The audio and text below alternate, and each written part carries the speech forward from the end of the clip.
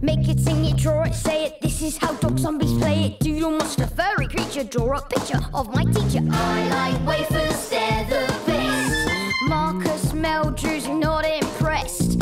Granny's custard's very lumpy. Delia is always grumpy. I'm Tom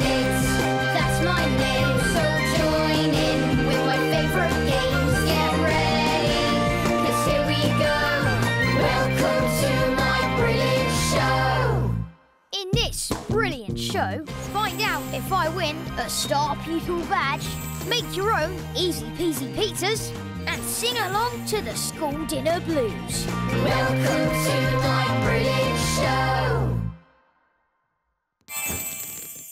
The school inspector is here this week. These are the top five ways you can tell if your school is about to be inspected. Number five. Caretaker Stan has made sure the floors are shining, which means you have to be extra careful in the corridors.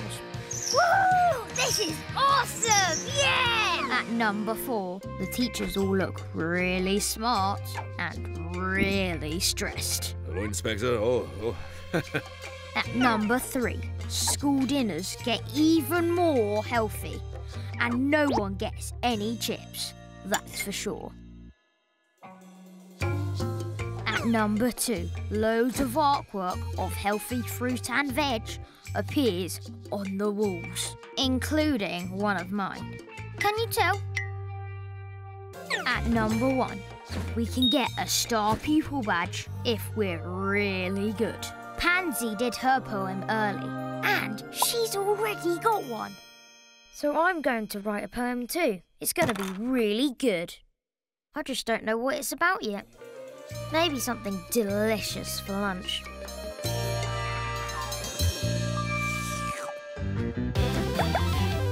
Okay, let's make our very own pitta pizza. You will need clean hands, a pitta bread, some tomato puree, plenty of grated cheese, and some tasty herbs. And a glue stick? We're making food. We definitely don't need a glue stick. Oh, all right. Sorry. Okay, got all of that? Fantastic. Let's get making. Take your pitta and squeeze on the tomato puree. Then spread it around like this. Add plenty of grated cheese. And then sprinkle on your tasty herbs. Pop it in the oven until the cheese has gone all melty. Remember, have an adult help you when cooking. And there you go. Now you know how to make your own pizza, you can put on whatever toppings you like. Delicious. Welcome to my brilliant show. The school inspectors are in. And right now, I should be writing my poem to win a Star Pupil badge. But I've got a little bit distracted by. Play it! There's a real buzz about this race. Which bug will be flying to victory and who will be creepy crawling over the finish line in last place? Choose a bug. Right. Bug one. bug two. Eh? Or bug three. Have you chosen a bug? Great. Here we go. And they're off. Bug one is off to a flying start. Literally. Oh, what's that? Ooh. Bug one looks like the clear favourite here. Oh no, she spotted a lamp. Classic bug mistake. Her legs have gone, but lucky, she's got four more. And Bug 2 has done it. What a champion. Oh, I don't believe it. Bug Free has eaten the competition for breakfast. Did you pick a winner? Well done to Bug Free. Not the fastest, but definitely the hungriest. It's time to draw it. Hi, I'm Liz and I write and draw the Tom Gates books. And now let's see what's in the box. Let's have a look. It's a lunchbox. Lots of places to doodle. Check it's empty. No snacks inside. Yeah, I think I can do something on this. Wow, now I am excited. Okay, let's have a look at this lunchbox. First thing I have to say, don't draw on anything unless you get permission from an adult. This lunchbox is made of fabric. So, hmm, I think I could probably use a permanent marker on it, or you could probably use a, a fabric pen as well. Now, if this was my lunchbox, I'd want to write my name on it or have some place so that I would know that my lunchbox was mine. So I think we could leave a space in the middle and then we could write your name in it. Before you start drawing on your lunchbox, you can always do a pencil sketch and work out exactly what it is you want to draw. And then take your pen, find a place on your lunchbox where you can't really see. Maybe, I might do it on this label. So I'm just testing just to see how the pen works on the fabric because sometimes it can bleed out.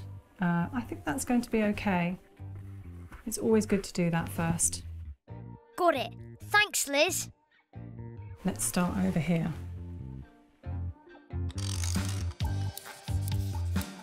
This pen goes on really nicely. If you're using permanent pens as well, be careful. Don't get it on your fingers. So with this doodle, I'm just going to decorate around my space in the middle.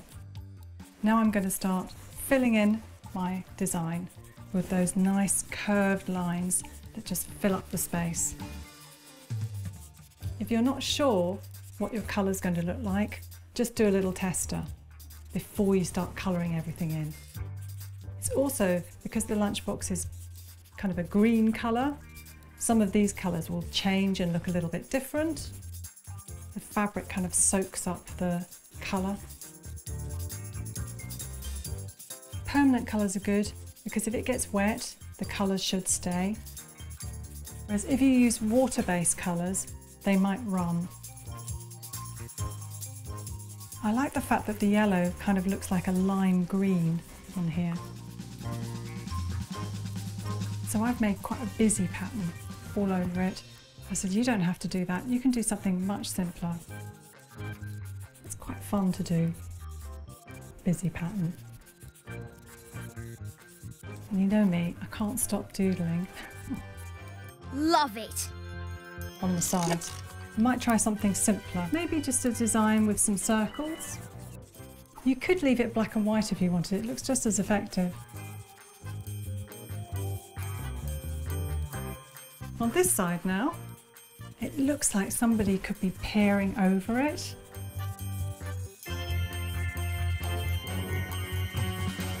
So I'm just going to do a little bit of decoration. And let's just do a little bit more of a pattern.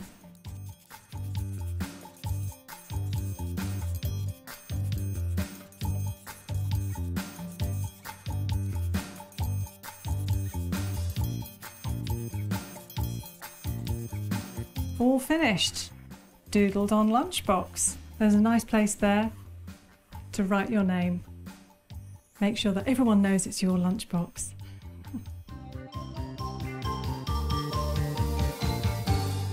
Thanks, Liz. That was great. Welcome to my brilliant show.